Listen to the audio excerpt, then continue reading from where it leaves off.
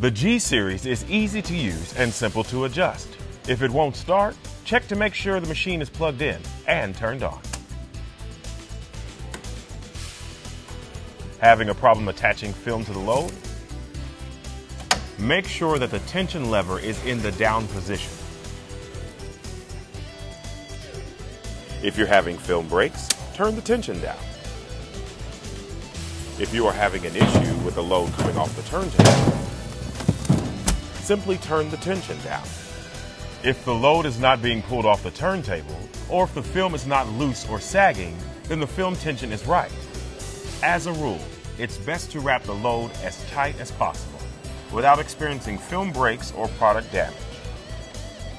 If you are having any other issues, give us a call at 1 800 866 0322.